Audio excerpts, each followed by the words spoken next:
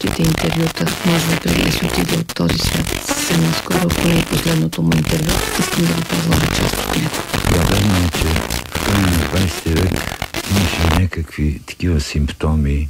Тук там бях чел, че се ражда едно ново поколение хора, които напускат мегаполисите, лишават се от тази, как да кажа, обсебеност от материалното удобство.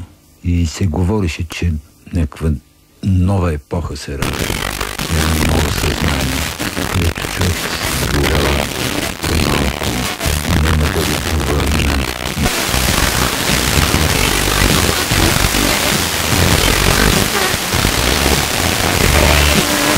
бъде. Не, там е точно обратното.